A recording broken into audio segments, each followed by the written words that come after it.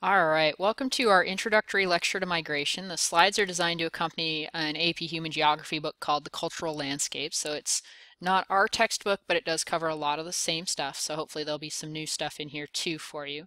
I'm of course Miss Gall and I'll be your lecturer for today. So the first thing you got to know about migration is that migration is a type of mobility. Um, and specifically it's mobility to a, a permanent move to a new location. Migration is relocation diffusion. And so if you remember when we were talking about diffusion in the last unit, we talked about um, relocation diffusion as being literally picking up and moving from one place to another. That's what it is, okay? It's when you pick up and move and you take all of your culture and everything else with you to the new place. On a very broad level, we can break migration into two categories, and these were on your vocab list if I remember correctly. So um, we've got emigration, which is migration out of a place, and immigration, which is migration into a place. Just to give you an example, I emigrated out of Alaska to move to Washington, and I immigrated into Bellingham when I moved down here. so talk about why do people migrate? A lot of reasons why people migrate, but most people migrate for economic reasons because they're seeking out better opportunities okay, and put a star next to it, highlight it, underline it, circle it, whatever you're going to do to let yourself know that you need to know what push and pull factors are, okay?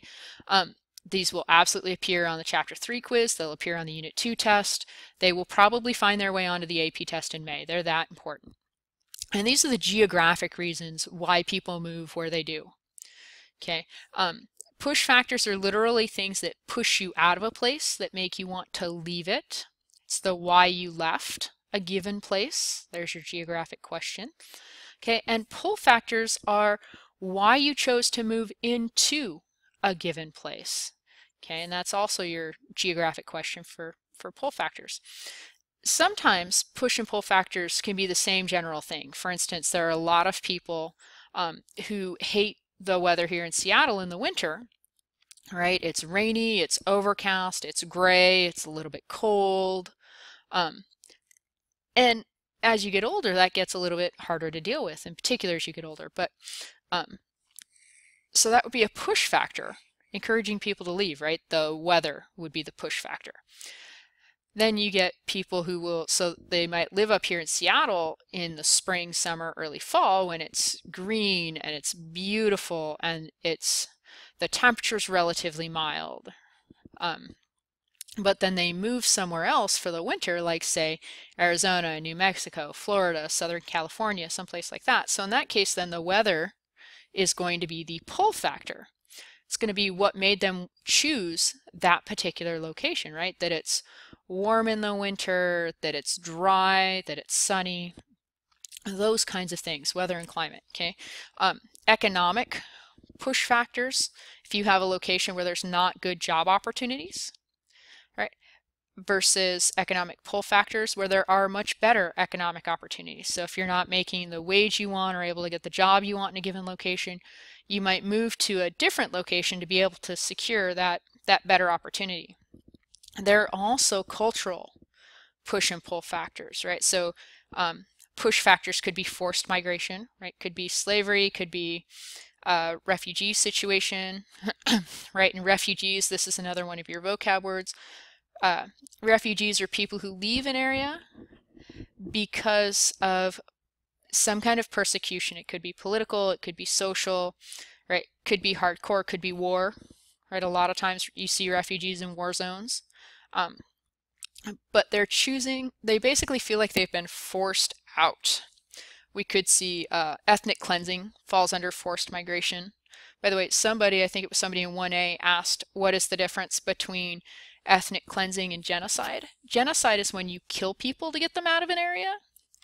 Ethnic cleansing includes genocide, but it's also though it could also it also includes those nonviolent acts like passing laws that say you can't follow the religion you want or you can't wear the clothing you want or um, or maybe that you've traditionally worn that you can't speak your language okay that's another form of, of ethnic cleansing there are also political push and pull factors right? And these are these are huge. I wouldn't underestimate these, although they do tend to go along with the economic ones, which is to say political push factors are unstable political environments. Um, places where there's a lot of revolution or coups, um, where the government is unpredictable or the government is super over the top dictatorial, right? Those are push factors.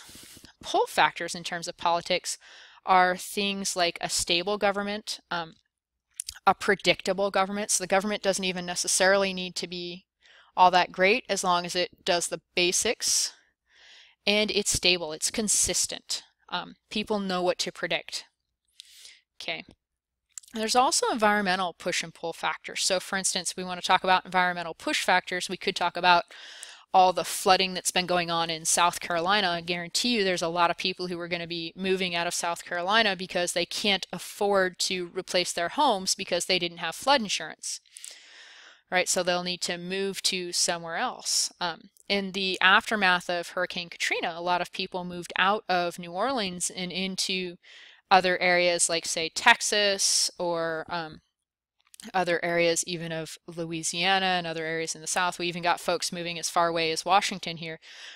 Again, because of the hurricane and the fact that they couldn't afford to to rebuild. Environmental pull factors, by the way, would include things like um, a mild climate or um, a climate that you enjoy. So maybe you don't like a ton of sun or you're allergic to sun, so you go someplace where there's not going to be a lot of sun right? Or maybe you hate the rain, so you're going to go someplace where there's basically no rain. Okay, all kinds of things to really think about in terms of push and pull factors. We're looking at refugees, and this is an interesting case. I want you to pause the video for a moment, take a look at this map, and see what patterns you can see. And then um, start it back up after you've come up with one or two kind of things that you see. Okay, it's that level two question what patterns you see, and we'll talk about what are some of the patterns, and we'll talk about why that is. Okay, so one of the first things you should notice looking at this map is that it's a flow line map, which is a type of thematic map. Okay, um, and some of the kids have said things like they notice that most of the arrows are relatively short. Okay, or that they go out of poorer areas or areas where there's lots of conflict and into areas that are more stable. Um, which are all great things to notice and things that we um, need to account for when we're talking about refugees and we're talking about migration. Okay. One of the most important things we can talk about in terms of people moving is that people don't like to move very far. That's why even when we're talking about refugees, when they're fleeing, they're fleeing to nearby countries. unless they really, really don't feel safe, or unless they have family or friends in a foreign country, they're probably not going to go all the way across the ocean or halfway around the world. Because odds are good they want to be able to return home someday, and it's harder to do that when you're much further away. So um, this map, by the way, is from 2011, so the data is actually probably a couple of years earlier than that, so figure 2009. So it's about seven or eight years old. The data is a little bit dated.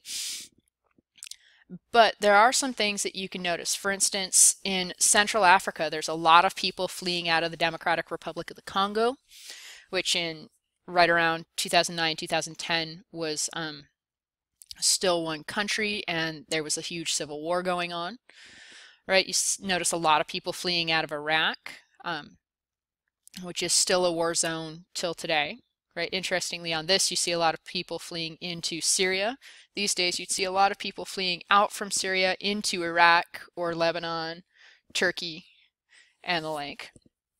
If you look at the inset map of um, Israel, you can see a lot of folks fleeing out into various other Arab countries. Um, and by the way, those would be Palestinians, and they're fleeing either into other Arab countries, Lebanon, Syria, Iraq, Saudi Arabia, Jordan, Egypt, or they're fleeing into Palestinian controlled territories like the Gaza Strip and the West Bank. And there's a lot of reasons for that, but mostly chalk it up to cultural conflict between two groups who were trying to occupy the same lands. Okay, so when we talk about reasons for migration, um, there's really two things I want to talk about as well when we talk about um, perhaps why you might stop migrating. And the slide here talks about intervening obstacles. I'm also going to talk about intervening um, opportunities. Okay, so intervening obstacles. An obstacle, of course, is something that blocks your path or blocks your progress. To intervene means to step into the middle of. Okay, so historically, a lot of these intervening obstacles were environmental. They were, you know, rivers that were too high. And the joke I was making with the B-Day kids is, you know, the river's too high, so you float your uh, wagon down it, and then you the wagon turns over and you get dysentery and you die, right? It's the Oregon Trail joke. But it could be rivers, it could be oceans, it could be mountains. Um, but with the advent of transportation technology, these days, environmental intervening obstacles are really pretty limited for the most part. These days, the biggest intervening obstacle tends to be money, as in you get partway to your destination and your money runs out and you can't afford to pay people to ferry you over the borders or to continue your trip. Okay, the other half of this is intervening opportunities. So if obstacles are negative things that prevent you from migrating, opportunities are good things that prevent you from continuing your migration. And intervening opportunities are things like um, that you get a you get the job you want partway through, or you meet and marry the love of your life partway through, and things like that. Okay, so opportunities are good, obstacles are bad. Okay, and then we talk about how far people migrating. And by the way, now we're into more of Ravenstein's laws. Okay, there's two types of internal migration. Internal being within a country. Okay, talk about inter-regional migration, movement from one region to another, or intra-regional migration, movement within a region. And underline or circle those prefixes because you're going to see them again. And one of those things you could do really help you out in this class and a lot of other ones is beg your English teachers to teach you um, prefixes and suffixes because it'll help you with a lot of word analysis and how to figure out what a lot of words that you don't know mean. Okay, so inter means between and intra means within. Okay, then we talk about international migration.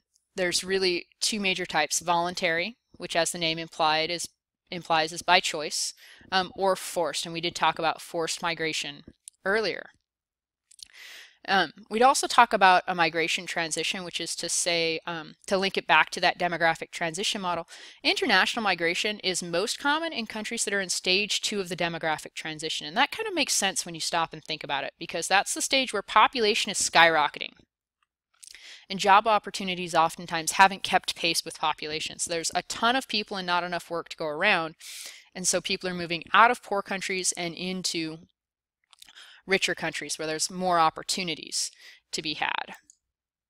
Okay, and then we talk about characteristics of migrants. Most migrants are male, most are adults, most are individuals. Families with children are a lot less common. And if you think about this stuff, it kind of to some degree makes sense. Males because um, of either a belief in protecting females or a need for females to stay home and stay with the family, maybe children or adult or elderly parents who need additional help. Adults because um, generally speaking it's not a good idea to send kids on their own and individuals because it's easier to move as a person instead of as a family.